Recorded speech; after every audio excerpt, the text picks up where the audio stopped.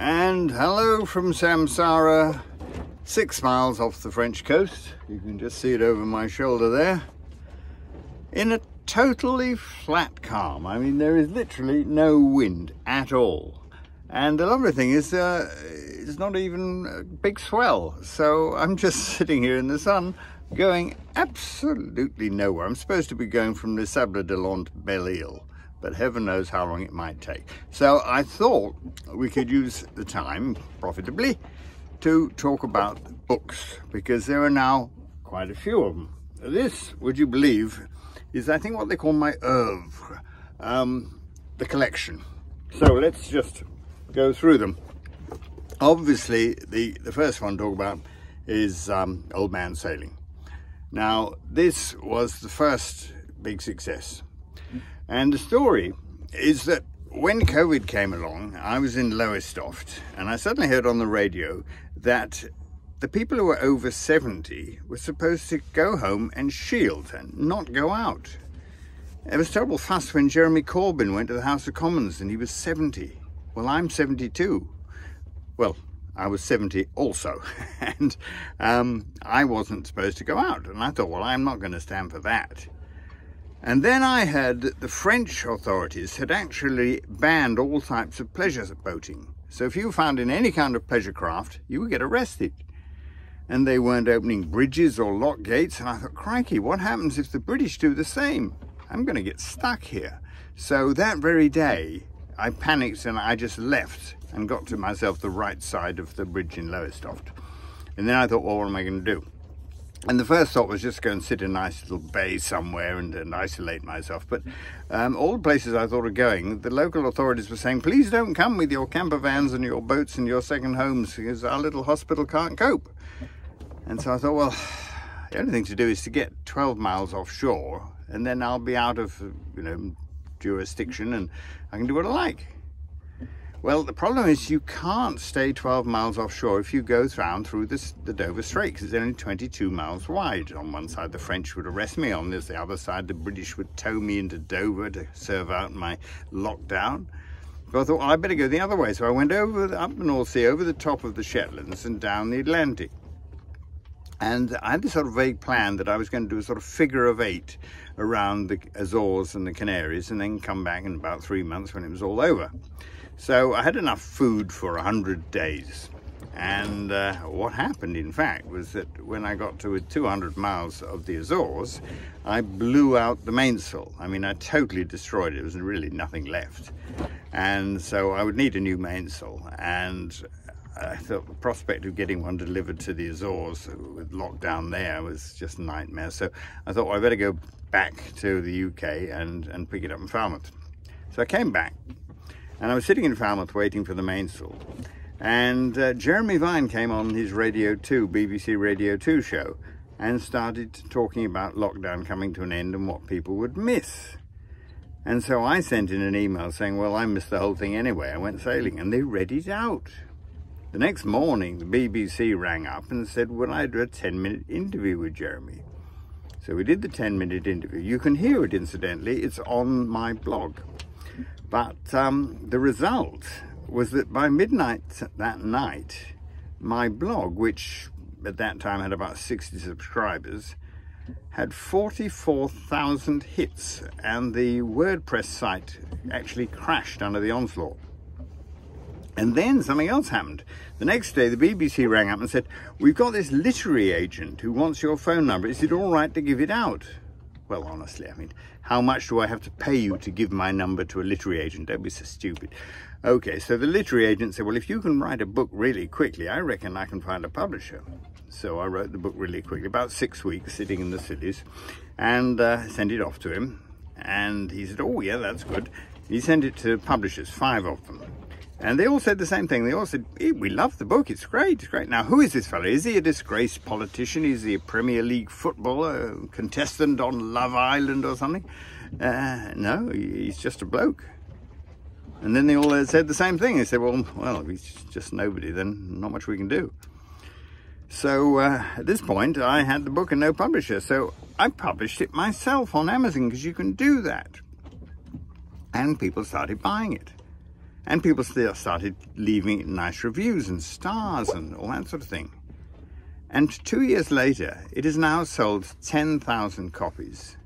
And of course, the more successful it becomes, the more Amazon plugs it. It's now selling more in America than it is in Europe. But interestingly, it's not selling in France because the French don't buy books in English.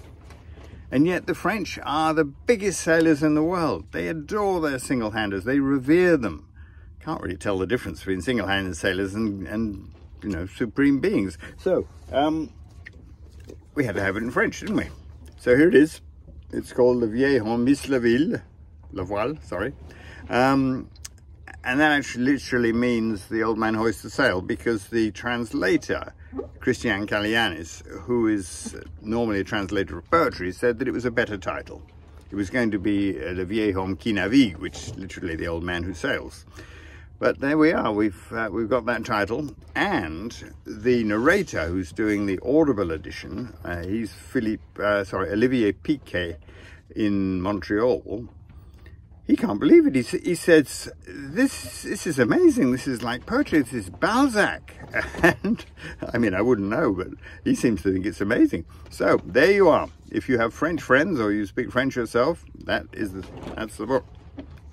Um, and incidentally, if you like these books, please do leave them some Amazon stars. Those are so important and I'm trying to get all the five stars lit up. At the moment I've got four and a half lit up uh, because it's what 4.6 stars and they can't actually differentiate between a half a star and a whole one.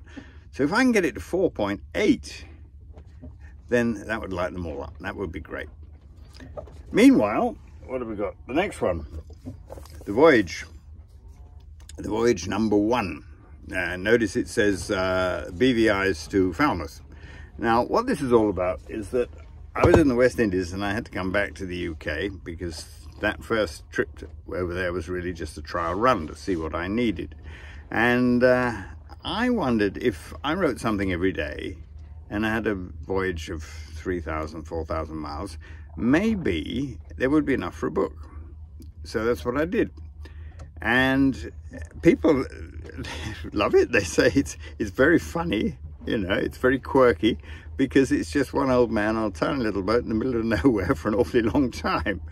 And, and it's gone down very well. In fact, um, that sells better at the moment than Old Man Sailing, I believe. It's, it's quite extraordinary. Um, so, that's that one. Then what have we got? Ah, the good stuff. Now this is uh, is kind of unusual because what happened was when I left newspapers, they gave me all these cuttings about you know Tiananmen Square and the Iron Curtain coming falling, sorry, the Berlin Wall falling down, and and all the places I'd been as a foreign correspondent, and I threw them all away. But I kept all the stuff I'd written for yachting magazines or newspapers about sailing. And there was quite a lot of it. And I read it through as I was going across the Atlantic. And I thought, you know, this is, this is good stuff. Well, actually, that's why it's called It's Good Stuff, because the editor of Yachting, One, uh, Yachting World, um, Andrew Bray, uh, he was the one who commissioned me to do a, a, monthly column in Yachting World, and it ran for 10 years. That's an awful lot of columns. And after a while, I sent him an email saying, look, it's getting a bit silly. I'm writing, I was writing about knickers and, you know, all sorts of things. And he said, no, keep it up. It's good stuff. So we called it The Good Stuff. And there was too much of it for one book. So there is a second volume. And the interesting thing about this is this is the whole story of my sailing life from my late 20s when I had little amicus and started writing for yachting magazines through to getting Largo, doing the single-handed transatlantic race, meeting Tamsin, uh, going off to sea, having babies on the boat. It's all there chronologically. So this is the full story told as it happened. And it's, and it's quite something, I tell you. And then And then we got something totally different. Now for something completely different, as they say. Now this is a novel. And this is a novel I wrote in 1982. What had happened was that I was at the Daily Mail and they sent me down to Greenham Common to the Women's Peace Camp. Now, if you're a certain of age, age, you'll know all about this. What had happened was that the British government had told the Americans that they could have nuclear-tipped cruise missiles at their airbase at Greenham Common in Berkshire. And uh, women came from all over the country, all over the world, in fact, to protest. And they, they encircled the base, which is enormous, and they lived in little sort of huts they called benders, you know, made out of bushes and tarpaulins and what have you. And they shuffled around in Wellington boots in the mud. I remember writing, peace is hell, as if it was the First World War. But the thing about it was that it was totally peaceful. And don't forget, this was the 80s with the miners' strike, when, you know, people were being killed. In fact, I went down to South Wales and found the, stri uh, the strike-breaking miner who was in the back of the taxi when the driver was killed when they dropped a concrete fence post off a bridge and it went straight through his windscreen. So this was a very serious and violent time and yet the peace camp was totally peaceful. And I thought, this is an enormous force here. What would happen if they turned it into a political party? What would happen if that political party won a general election and then determined to do away with all the nuclear weapons. What would happen? I mean, would the military elite allow that to happen? And I thought, I've got a novel here. So I wrote the novel, sent it off to the Laurence Pollinger Agency, who published some of my uh, children's books. And uh, they said, yeah, I think we can find a publisher for this one. And they sent it all around and they publisher all wrote back and said once again the same thing. We we like the book. It's it's it's pretty good, yeah, for a first novel. Um, but it's a bit far fetched, honestly, really. Well, it was because guess what? It it featured it featured a Russian president interfering in other countries' elections. It had an American president with the dictum of America first and the rest of the world can go to hell in a handcart. And it had a British prime minister who wanted to scrap all nuclear weapons. And there we were. Uh, it, only, it wasn't published, so I put it in the attic. But in 2017, I woke up one morning and there was Jeremy Corbyn saying he wanted to get rid of nuclear weapons. There was President Putin interfering in elections and Donald Trump in the White House saying America first. And I thought, I've got a book about this. So I got it out of the attic and published it on Amazon and it's still there and you can you can buy it. And it's not the greatest thriller in the world i won't claim that. But people have said they like it very much. It's a, certainly an interesting proposition.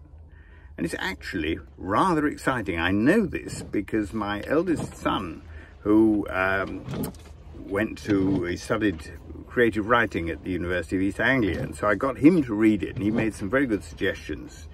And uh, he said that he was very sorry because there's one chapter he hadn't really corrected properly because it was too exciting. he had to go through it again. He still found it too exciting to actually clean, clean up all the grammar and the semicolons. So uh, I do recommend that one. And there is another one coming, but I will tell you about that when it does. And meanwhile, it is, ah, it's the evening, it's 10 to 7, and there's still no wind. In fact, let's just take a look around. I'll turn the camera around. You can just see just how calm it is. And there is, I mean, I haven't even bothered to take the sails down because they're not coming to any harm, slatting or anything like that. It's just total, total calm. So, it looks to me as if it's time for a cold beer out of the fridge and a little bowl of crisps. Until the next time.